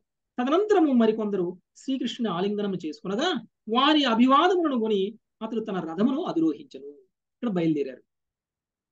అయితే శ్రీకృష్ణ భగవానుడు బయలుదేరానికంటే ముందు తను చేసినటువంటి కర్మ ఏదైతే ఉందో దాన్ని చూస్తే మనందరికీ ఒక లెసన్ అనేటువంటిది రావాలి. శ్రీకృష్ణ భగవానుడు బయలుదేరడానికంటే ముందు ధర్మరాజు యొక్క అనుమతిని కోరారు. ధర్మరాజుకి పాదాభివందనాలు చేయడం అనేటువంటిది జరిగింది. శ్రీకృష్ణ భగవానుడు ధర్మరాజు యొక్క పాదాలకి అభివందనం చేశారు నమస్కారం చేశారు ఎందుకు అలా చేశారు? శ్రీకృష్ణ భగవానుడు శ్రీకృష్ణుడు దేవాది దేవుడు. దేవాది దేవుడు అయినటువంటి శ్రీకృష్ణ భగవానుడు ఎవరి సహాయంతో అయితే పాండవులు తమ రాజ్యాన్ని తిరిగి పొందగలిగారో ఎవరి సహాయంతో అయితే ధర్మరాజు తిరిగి తన రాజ్యాభిషక్తుడైపోయి చక్రవర్తిగా ఇప్పుడు ఆయన పాలన చేస్తున్నారో అలాంటి వ్యక్తికి శ్రీకృష్ణ భగవానుడు పాదాభివందనాలు చేయడం ఏంటి? శ్రీకృష్ణ భగవానుడు ఎందుకు పాదాభివందనాలు చేశారంటే ధర్మరాజు శ్రీకృష్ణ భగవానుడి కంటే వయసులో పెద్ద. తనకి బావ. శ్రీకృష్ణుడు దేవాది దేవుడు కావచ్చు కానీ ప్రస్తుతం శ్రీకృష్ణుడు ఒక మనిషిలా మానవుడిలా ఉన్నారు. మానవుడిలా అవతరించినటువంటి శ్రీకృష్ణ భగవానుడు మనందరికీ కూడా తను చెప్పాలి మనల్ని ఆచరించాలి అని అనుకున్నటువంటి విషయాలన్నింటినీ కూడా తాను కూడా ఆచరించి చూపించాలి. అందుకనే తన జీవితంలో తను అవలంబించినటువంటి ప్రతి కర్మ కూడా శ్రీకృష్ణ భగవానుడు ఆచరించినటువంటి ప్రతిదీ కూడా మనం అందరం కూడా ఆచరణ ఆమోదయోగ్యమైనటువంటి విషయాలు. ఎందుకంటే శ్రీకృష్ణ భగవానుడు ఆచరించి మనందరికీ కూడా లెసన్స్ నేర్పుతున్నారు. అయితే ధర్మరాజు యొక్క భావన ఎలా ఉంది? కృష్ణుడంతటోడు ధర్మరాజుని నమస్కరిస్తుంటే ధర్మరాజు యొక్క పాదాలకి నమస్కారం చేస్తుంటే మరి ధర్మరాజు భావన ఎలా ఉంది? ధర్మరాజు చాలా గొప్పవాడు కాబట్టి వెంటనే శ్రీకృష్ణ భగవాను లేపి ఆలింగనం చేసుకోవడం అనేటువంటి జరిగింది. అంటే మామూలుగా భౌతిక స్థాయిలో ఉన్నటువంటి వ్యక్తి అయితే నేను ఒక రాజుని సామాన్యమైనటువంటి వాళ్ళు లేకపోతే గొప్ప గొప్ప వాళ్ళు కూడా నాకు నమస్కారం చేస్తే నా కీర్తి పెరుగుతుంది. మనల్ని నమస్ మనకి నమస్కరించేటువంటి వ్యక్తులు గొప్పవాళ్ళు అనుకోండి ఆటోమేటిక్గా మనం వాళ్ళకంటే గొప్పవాళ్ళం అవుతాం.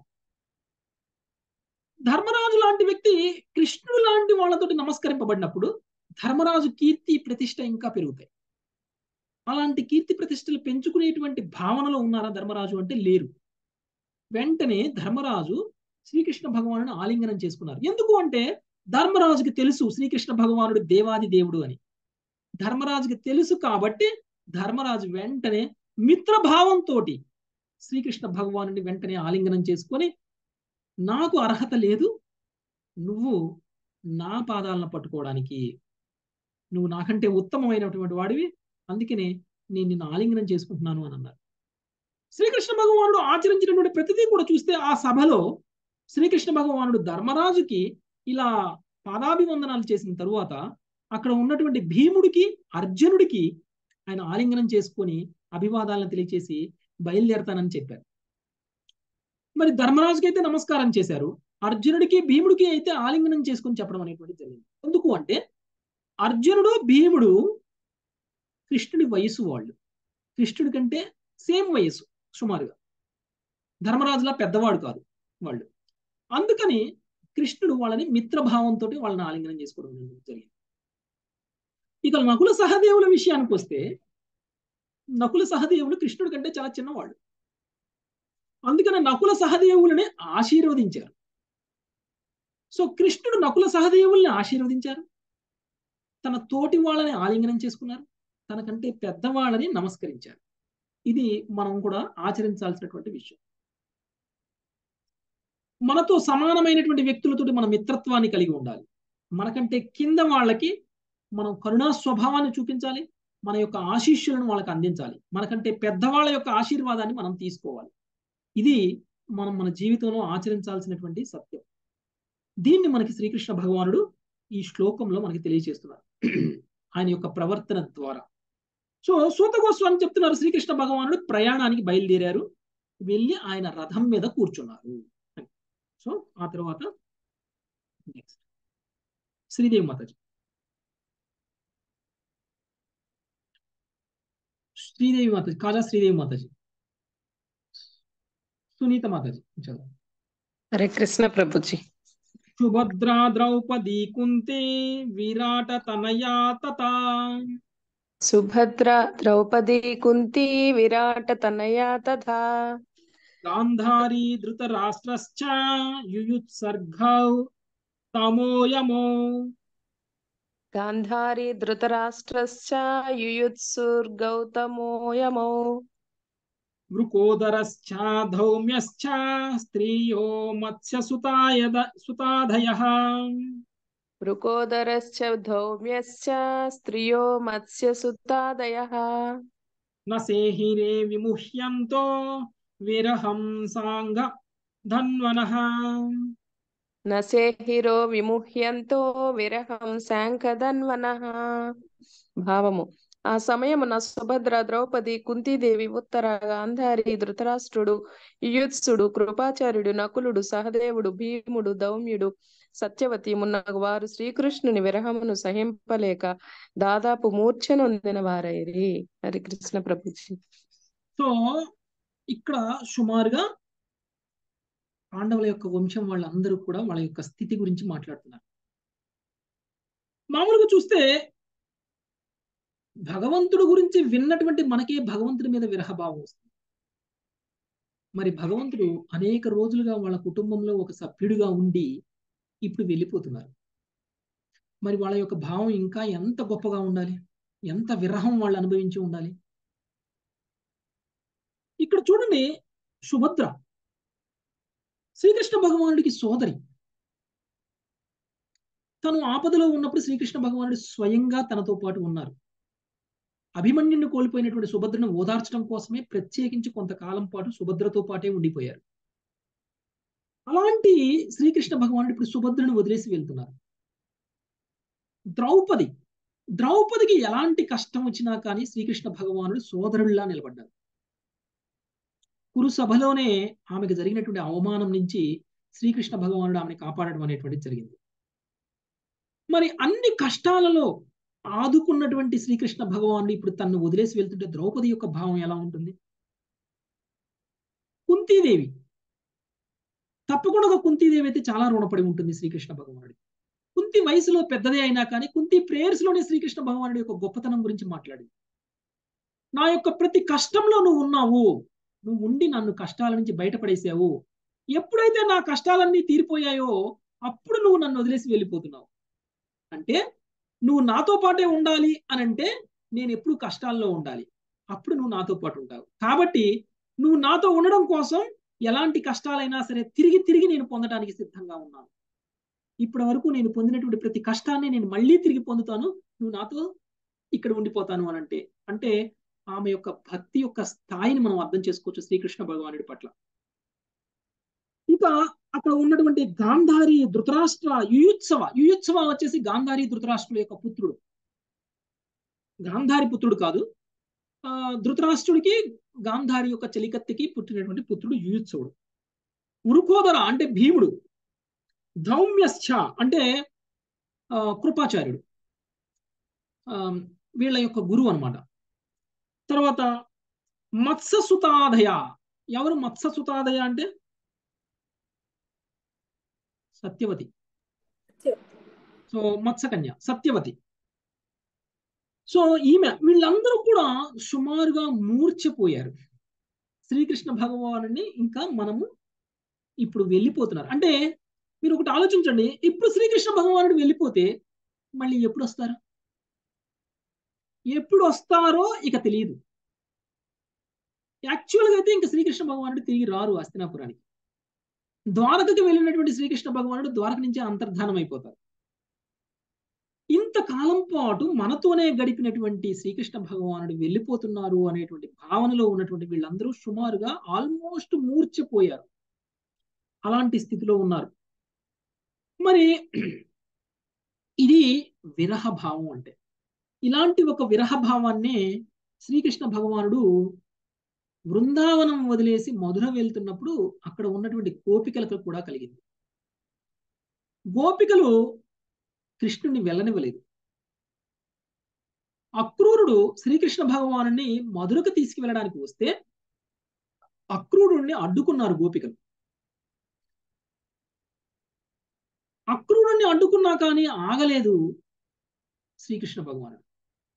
అప్పుడు నంద యశోద దగ్గరికి వెళ్ళి మీరైనా చెప్పండి కృష్ణుని వెళ్ళొద్దని బలరాముని వెళ్ళొద్దని అని చెప్పేసి వాళ్ళు ఎంతో విరహ భావాన్ని ఎంతో మిస్సింగ్ భావాన్ని వాళ్ళకి చెప్పడం అనేటువంటిది జరిగింది. తల్లిదండ్రులు చెప్పినా ఆగుతారేమో అని. కానీ పాపం వాళ్ళ ఆశలు అక్కడ కూడా నెరవేరలేదు. తల్లిదండ్రులు అంటే నంద యశోదల దగ్గరికి వెళ్ళిపోయి వాళ్ళు రిక్వెస్ట్ చేసినా కానీ వాళ్ళకి శ్రీకృష్ణ భగవాను ఆపలేకపోయారు. ఏం చేయాలో తెలియలేదు గోపికలకి. ఒక్కొక్క గోపిక రథచక్రాలకి అడ్డంగా పడుకుంది. ఒక్కొక్క గోపిక రథానికి ముందు నిలబడి పోనివ్వలేదు.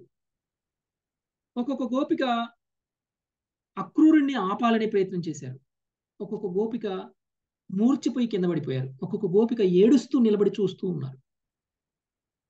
ఏం చేయాలో తెలియక. ప్రాణాన్ని కోల్పోయినటువంటి వాళ్ళలాగా వాళ్ళ ఆత్మనే కోల్పోయిన విధంగా వాళ్ళు అక్కడ నిలబడి ఉన్నారు. అది శ్రీకృష్ణ భగవాను కోల్పోతున్నటువంటి సమయంలో గోపికలకి ఉన్నటువంటి భావం. గోపికలకి ఇలాంటి భావం ఉంటే ఇక రాధారాణికి ఎలాంటి భావం ఉంటుంది? రాధారాణి యొక్క విరహం గురించి మనము ప్రత్యేకించి మాట్లాడలేము. ఎందుకంటే ఆమె విరహ భావన అనేటువంటిది అంత ఎక్కువగా ఉంటుంది. అంటే ఒక వ్యక్తి మీద ఎప్పుడు ఎంత ఎక్కువగా విరహం ఉంటే అంత ఎక్కువగా ప్రేమిస్తున్నట్టు. ప్రేమని ఏ విధంగా కొలవచ్చు మనం? ప్రేమని ఇంత ప్రేమిస్తున్నాను అంత ప్రేమిస్తున్నాను అని చెప్పాలి అంటే భగవంత్ ఆ- ఆ- ప్రేమించేటువంటి వ్యక్తి మన సమక్షంలో లేనప్పుడు మనం ఎంతగా తన్ని గుర్తుంచుకుంటున్నాము? మనకి ఎంతగా తను గుర్తొస్తున్నాడు అనేటువంటి దాన్ని బట్టి మన యొక్క ప్రేమ యొక్క స్థాయి అనేటువంటిది మనకి అర్థమవుతుంది. అది గోపికల యొక్క ప్రేమ. ఇప్పుడు పాండవుల యొక్క ప్రేమ కూడా అదే. హస్తినాపురంలో ఉన్నటువంటి ప్రజల యొక్క ప్రేమ కూడా అలానే ఉంది. భగవంతుణ్ణి దూరం అవుతున్నటువంటి ప్రేమ దూరమవుతున్నటువంటి దూరం అవుతున్నటువంటి భావనలో వాళ్ళు సుమారుగా మూర్ఛితులయ్యారు. ఓకే? నెక్స్ట్. సత్యవతి మాతాజీ. तत्सङ्गान्मुक्त दुस्सङ्गो हतुं नोत्सहते बुधः। तत्सङ्गान्मुक्त दुस्सङ्गो हातुं नोत्सहते बुधः। कीर्त्यमानं यशो यस्य सुकृधाकर्ण्यरोचनम्। कीर्त्यमानं यशो यस्य सकृदाकर्ण्यरोचनम् तस्मिन् तस्मिन् यस्तदियः पार्दा సహేరన్ విరహం తస్మిన్ యస్తథీయ పార్థ సహేరన్ విరహం కథం. దర్శన స్పర్శ సంలాప సం దర్శన స్పర్శ సంలాప శయన ఆసన భోజనై. దర్శన స్పర్శ సంలాప శయన ఆసన భోజనై. శుద్ధ భక్తుల సాంగత్యమున శ్రీకృష్ణ భగవాన్ అవగతం చేసుకొని దుస్సాంగత్యం నుండి ముక్తులైన బౌద్ధజనులు ఆ దేవదేవుని యశ్వశ్రవణమును ఒక్క మారు కావించను దాన్ని త్యజింపజాలను. అట్టి ఏడ శ్రీకృష్ణుని ముఖాముఖి దర్శించుచు అతని స్పర్శించుచు అతనితో సంభాషించుచు సేనాసన భోజనాథులను అతనితో కలిసి కావించుచు సన్నిహిత సహచర్యం అనుభవించిన పాండవులు ఏ విధంగా దేవదేవుని విరహంను సహింపగలరు? హరే కృష్ణ గోస్వామి తెలియజేస్తున్నారు సాధ్యం కాదు పాండవుల యొక్క విరహాన్ని సహించటము అనేటువంటిది. ఎందుకంటే శుద్ధ భక్తుల సాంగత్యంలో ఉండి శ్రీకృష్ణ భగవానుడు గురించి శ్రవణం చేసి దుస్సాంగత్యాన్ని వదిలేసేటువంటి అవకాశం ఉంది. అలా శ్రవణ మాత్రంతో శ్రీకృష్ణ భగవానుడి మీద మనకి విరహం వస్తుంది. మనం వెళ్ళి శ్రీకృష్ణ భగవానుడి యొక్క అర్చా విగ్రహం ముందు నిలబడినప్పుడు మన మన కళ్ళ మటి నీళ్ళు ఆటోమేటిక్గా వచ్చేస్తాయి. ఎందుకంటే ఆ భగవంతుడి గురించి మనం శ్రవణం చేసి ఉన్నాం కాబట్టి. భగవంతుడి మీద ప్రేమ అనేటువంటిది అంతగా పెరిగింది కాబట్టి. మరి అలాంటి మనకే అంత విరహ భావన కలుగుతుంటే పాండవులకి ఎలా ఉండాలి? పాండవులు శ్రీకృష్ణ భగవానుని ముఖాముఖి దర్శించారు. పాండవులు శ్రీకృష్ణ భగవానుని స్పర్శించారు. పాండవులు శ్రీకృష్ణ భగవానుడితో సంభాషించారు. పాండవులు శ్రీకృష్ణ భగవానుడి యొక్క శయ్య మీద పడుకున్నారు. పాండవులు శ్రీకృష్ణ భగవానుడితో పాటుగా కూర్చున్నారు. పాండవులు శ్రీకృష్ణ భగవానుడితో పాటుగా ఒకే ప్లేట్లో భోజనం కూడా చేశారు. మరి ఇక అలాంటి వ్యక్తులు ఆరు రకాల సంబంధాలను కలిగి ఉన్నారు పాండవులు శ్రీకృష్ణ భగవానుడితో. ఇక చూడండి ఈ శ్లోకంలో తస్మిన్ స్థితయ పార్థ అనేటువంటి పదాన్ని వాడారు. పార్థ అంటే? పార్థ? అర్జున్. పార్థ అంటే అర్జునుడు ఒకడే కాదు. పార్థ అంటే పాండవులు అందరూ అని అర్థం. కుమార కృతకుమారుడు. ఓకే? కృతకుమారుడు పార్థుడు. అర్జునుడు కూడా ఒక పార్థుడు. ఓకే? ఆ విధంగా చూస్తే పార్థ అంటే పాండవులందరూ పార్థులే. ఎందుకంటే అందరూ కూడా కుంతి యొక్క పుత్రులు కాబట్టి. ఇక్కడ పాండవులను ఉద్దేశించి మాట్లాడుతున్నారు ఈ మాటలన్నీ. పాండవులకి ఆరు రకాల సంబంధాలు ఉన్నాయి శ్రీకృష్ణ భగవానుడితోటి ఆయన్ని ముఖాముఖి దర్శించుకున్నారు స్పర్శించారు సంభాషించారు అతనితో కలిసి పడుకున్నారు అతనితో కలిసి కూర్చున్నారు అతనితో కలిసి భోజనం చేశారు అతనితో కలిసి సన్నిహిత సాహచర్యాన్ని కలిగి ఉన్నారు. మరి అలాంటి పాండవులు మరి దేవదేవుడిని యొక్క విరహం అనేటువంటిది వాళ్ళకి ఎంత ఎక్కువగా ఉంటుందో మనం ఊహించవచ్చు. ఊహించడానికి కూడా అవదు. అంత ఎక్కువగా ఉంటుంది వాళ్ళ యొక్క విరహం. కాబట్టి మనకి కూడా ఇలాంటి సంబంధం అనేటువంటిది ఎవరో ఒకళ్ళతో ఉంది కదా? ప్రతిరోజు దర్శించుకుంటున్నాం ప్రతిరోజు సంభాషిస్తున్నాం ప్రతిరోజు కలిసి పడుకుంటున్నాం కలిసి లేగుస్తున్నాం కలిసి తింటున్నాం కలిసి అన్ని చేస్తున్నాం. కానీ ఈ సంబంధం లౌకికంగా ఉన్నప్పుడు దానివల్ల ఆనందం కలగదు. అదే ఈ సంబంధం అలౌకికమైనప్పుడు ఆధ్యాత్మిక సంబంధమైనప్పుడు ఒక భక్తుడితో సంబంధం ఉన్నప్పుడు ఒక భక్తుడి యొక్క అందుకనే మనకి ఉపదేశామృతం. మనకేం చెప్తుంది అని అంటే ఆ, ఒక భక్తుడు ఇంకొక భక్తుడి మధ్య ప్రేమానురాగాలు పెరగడం కోసం భక్తులకి భక్తులకి మధ్య గిఫ్ట్లు ఇచ్చి పుచ్చుకోవాలి. ఒకళ్ళకి ఒకళ్ళు గిఫ్ట్లు ఇచ్చుకోవాలి. ఒకళ్ళతోటి ఒకళ్ళు ప్రేమగా మాట్లాడాలి.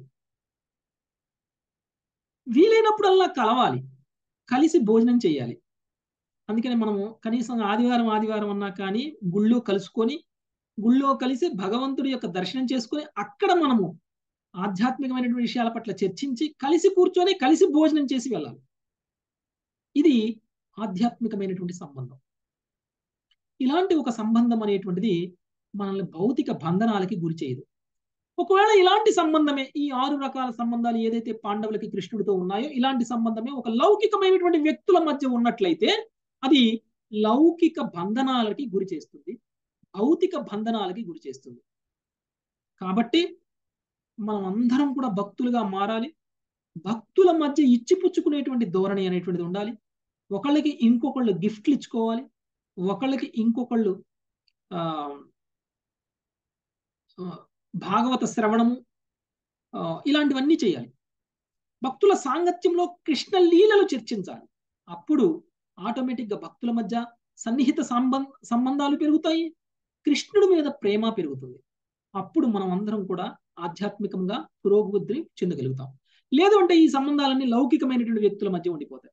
అలా లౌకికంగా ఉన్నటువంటి మనము లౌకికంగా పతనం చెంది జన్మ జన్మలకి మళ్ళీ ఇలాంటి ఒక శరీరాలని పొందుతూ అనేక జన్మలు తీసుకొని పైకి కిందికి తిరుగుతూ ఉండాలి. అంతే తప్ప మనకి ఎలాంటి లాభము ఉండదు. చూస్తే మనము ఇలాంటి ఒక సంబంధం లౌకికంగా కలిగి ఉండడం కోసమే అనేక రకాలుగా కష్టాలు పడుతూ ఉంటాం. మన కుటుంబ సభ్యుల మధ్యలో మనకి సన్నిహిత సంబంధం ఉండాలి. మనకి మిత్రులందరూ మంచిగా ఉండాలి. అందరితోటి మంచిగా మనం అనేక రకాలైనటువంటి శ్రమలు పడుతుంటాం కానీ ఇలాంటి శ్రమలన్నీ పడి పడి పడి పడి మనం అలసి కూడా పోయాం. అలసిపోయినా కానీ మనకి అలాంటి సంబంధాల మధ్యన ఇంకా ఇంట్రెస్ట్ పెరుగుతుంది. కానీ అది భౌతికంగా బంధనాలను క్రియేట్ చేస్తున్నప్పటికీ మనం అలసిపోయినా కానీ దాన్ని వదిలిపెట్టట్లేదు. కానీ భగవంతుడితో మనకు ఉన్నటువంటి సంబంధాన్ని మనం పూర్తిగా మర్చిపోయాం. మర్చిపోయిన మనకి శ్రీకృష్ణ భగవాను దూరం అవుతున్న పాండవులకి మధ్య ఉన్నటువంటి తేడాని చూడాలి. శ్రీకృష్ణ భగవానుడు దూరం అయిపోయిన తర్వాత పాండవులు కూడా కృష్ణుడు లేని పాండవుల్లా ఉండిపోతారు. కృష్ణుడినే మర్చిపోయినటువంటి మనం కూడా కృష్ణుడు లేనటువంటి వాళ్ళగానే ఉండిపోయాం. కానీ మన భావనకి పాండవుల యొక్క భావనకి మధ్య ఏంటి తేడా? వాళ్ళు అనుక్షణం శ్రీకృష్ణ భగవానుని గుర్తుంచుకుంటారు విరహంలో. కానీ మనం పూర్తిగా మర్చిపోయాం. మనము మనతోటి కృష్ణుడు లేడు పాండవులతోటి కృష్ణుడు లేడు. కానీ పాండవులు అనుక్షణం కృష్ణుడిని స్మరిస్తూ ఉన్నారు. కానీ మనం అనుక్షణం కృష్ణుడిని స్మరించట్లేదు. అది పాండవులకి మధ్య మనకి ఉన్నటువంటి తేడా. మనకి పాండవులలా కృష్ణుడితోటి అలాంటి సంబంధం లేదు. అలాంటి సంబంధము అలాంటి ప్రేమ కలగాలంటే మనం ప్రతిరోజు శ్రీమద్ భాగవతాన్ని శ్రవణం చేయాలి. కృష్ణుడి గురించి వినాలి. కృష్ణుడి యొక్క ఆ, లీలల గురించి వినాలి. అలా విని విని విని విని ప్రేమ స్థాయికి వెళ్ళినటువంటి రుక్మిణీదేవిని చూసి మనం అర్థం చేసుకోవచ్చు. ఆ విధంగా ఇక్కడ పాండవుల యొక్క విరహ భావము అనేటువంటిది వర్ణించలేనటువంటిది. వాళ్ళకు ఉన్నటువంటి సంబంధము అలాంటిది. కాబట్టి మనకి భౌతిక బంధ కారకాలని మనం వదిలిపెట్టి ఆధ్యాత్మికమైనటువంటి ఏదైతే ఉందో దానికోసం మనం ప్రయత్నం చేయాలి. అప్పుడు భగవంతుడితో నిత్య సాహచర్యాన్ని చేసేటువంటి అవకాశం మనకు కలుగుతుంది. భగవంతుడిని కోల్పోయినటువంటి మనం తిరిగి భగవంతుడిని పొందొచ్చు. ఏ విధంగా అయితే పాండవులు కోల్పోతున్నారు కానీ పాండవులు తిరిగి భగవద్ధామానికి వెళ్తారు. ఎందుకంటే పాండవులు నిరంతరం నిత్యుడైనటువంటి శ్రీకృష్ణ భగవాన్ని స్మరిస్తూ ఉంటారు కాబట్టి. మనం కూడా శ్రీకృష్ణ భగవాన్ని స్మరిస్తూ శ్రీకృష్ణ భగవానుడి పట్ల ప్రేమను కనుక మనం కూడా పెంచుకోగలిగినట్లయితే భగవంతుడి యొక్క నామ రూప గుణ యశస్సుల గురించి శ్రీకృష్ణ భగవానుడి యొక్క లీలల గురించి శ్రవణం చేయటం ద్వారా భాగవత పఠనం ద్వారా మనం కూడా ఎప్పుడూ శ్రీకృష్ణ భగవానుడి స్మరణలో ఉండి మనం కూడా పాండవులు పొందినటువంటి గమ్యాన్ని కూడా మనం కూడా పొందవచ్చు. Okay next. మళ్ళీ శ్రీమతజీ. सर्वे ते अनिमिषाय अनिमिषाय तमनुद्रुतचेतसः सर्वे ते अनिमिषै रक्षै समनुद्रुतचेतसः स्नेहसम्बन्धा विचेलुस्तत्र तत्रः। क्षन्ता स्नेहसम्बन्धा विचेलुस्तत्र तत्रः। ఆకర్షమనే ఆకర్షణమనేది పాత్రలో శ్రీకృష్ణుని కొరకు వారందరి హృదయములు కరుగసాగినవి. రెప్పవాల్చకుండా వారు ఆ దేవదేవుని తదేకముగా వీక్షించు అసహనముతో అటు ఇటు కదలసాగి హరే కృష్ణ ప్రభు ఓకే. సో ఇక్కడ ఒక మంచి ఉపమానంతో మనకి ఆ చెప్తున్నారు సూత గోస్వామి. మామూలుగా ఒక గిన్నెలో నెయ్యి వేసి ఆ గిన్నెని పొయ్యి మీద పెడితే ఏమవుతుందండి? నెయ్యి కరుగుతుంది కదా? అలానే పాండవుల యొక్క హృదయం కూడా కరిగిపోయిందంట. పాండవుల యొక్క హృదయము ఎలా కరిగిపోయింది? శ్రీకృష్ణ భగవానుడి యొక్క ఆకర్షణ అనేటువంటి అగ్నిలో కరిగిపోయింది. శ్రీకృష్ణ భగవానుడి యొక్క ఆకర్షణ వలన పాండవుల యొక్క హృదయాలు కరుగసాగాయి. అలాంటి శ్రీకృష్ణ భగవానుడు ఇప్పుడు వాళ్ళని వదిలేసి వెళ్తూ ఉంటే ఏం చేయాలో అర్థం కావట్లేదు పాండవులకి. రెప్ప కూడా వాల్చట్లేదు.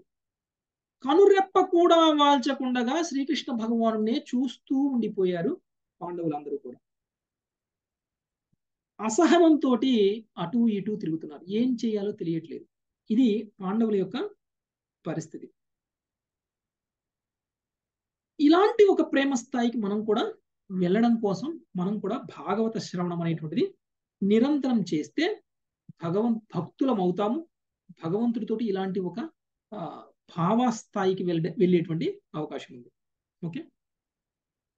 నెక్స్ట్. గౌరీ మాతాజీ. హరే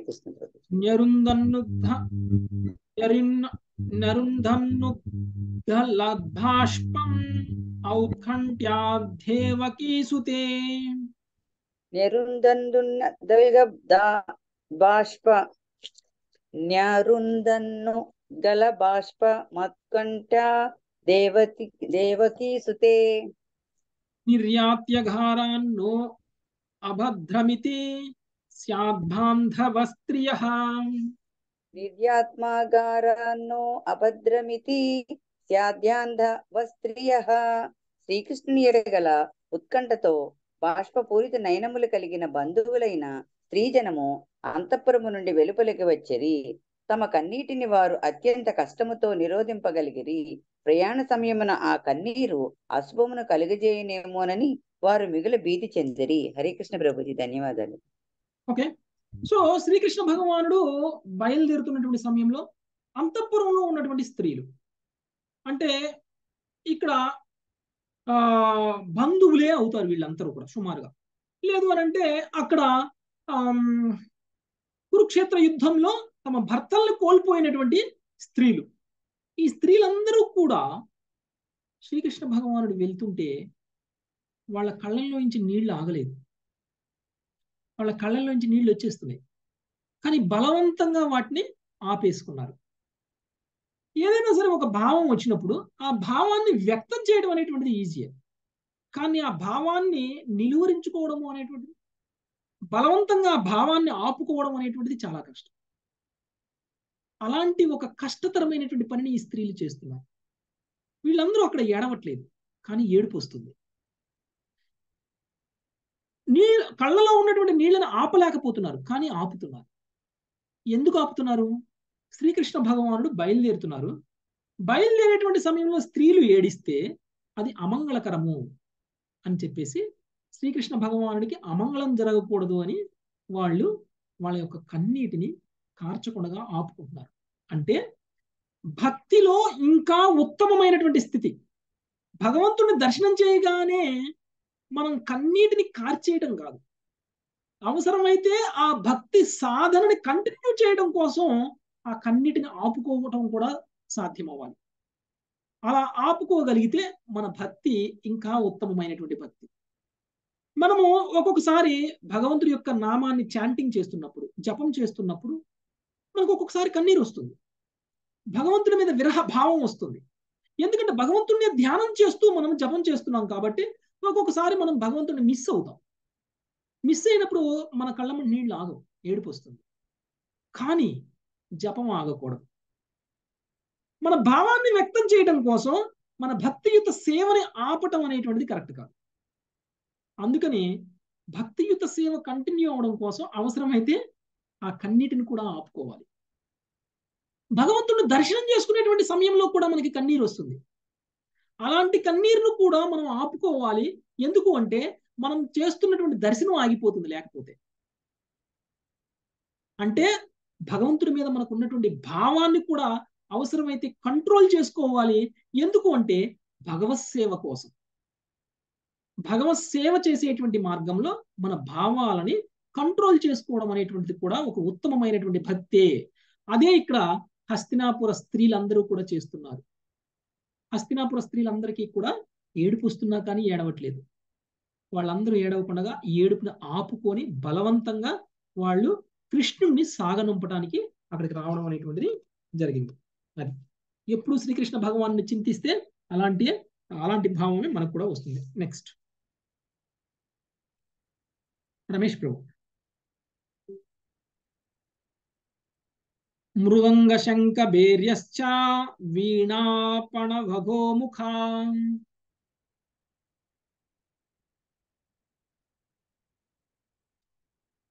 ధుందుర్యానక ఘంటాధ్యా నేధుర్ధుంధుభయాస్తదా. హస్తినాపుర రాజప్రాసాదము నుండి శ్రీకృష్ణుడు నిష్క్రమించినప్పుడు మృదంగము డోలు నగార ధుంధురి ధుంధుమి వంటి వివిధ డోలు వాద్యములు మరియు వివిధ రకముల మురళీ వాద్యములు వేణ గోముఖము భేరి మొదలుగునవి ఆ దేవదేవుని గౌరవార్థమై సంయుక్తంగా మ్రోగింపబడినవి. సో ఘనమైనటువంటి వీడ్కోలు పలుకుతున్నారు. ఘనమైనటువంటి వీడ్కోలు పలుకుతున్నప్పుడు అక్కడ దుందుబులు మోగిస్తున్నారు. అక్కడ అనేక రకాలైనటువంటి డోలు వాయిద్యాలన్నింటినీ కూడా వాయిస్తున్నారు. ఇంకా గోముఖాన్ని కూడా వాడుతున్నారు. తర్వాత భేరీలని మోగిస్తున్నారు. ఇవంతా కూడా శ్రీకృష్ణ భగవానుడి పట్ల గౌరవార్థం ఆయనకి వీడుకోల్ని అంత ఘనంగా చేయడం అనేటువంటిది జరుగుతుంది హస్తినాపురం నుంచి. ఓకే? ఇక్కడ కాపుదా మాతాజీ పదహారవ శ్లోకం నుంచి రేపు చదువుదాం. Thank you very much Hare Krishna వంచకల్పతరుభ్యశ్చ కృపా సింధుభ్యవచ పతితానం పావనేభ్యో వైష్ణవేభ్యో నమో నమ హరే కృష్ణ హరే కృష్ణ కృష్ణ కృష్ణ హరే హరే హరే రామ హరే రామ రామ రామ ఎవరికైనా ఏమైనా ప్రశ్నలు ఉంటే తీసుకుందాం మాతాజీ.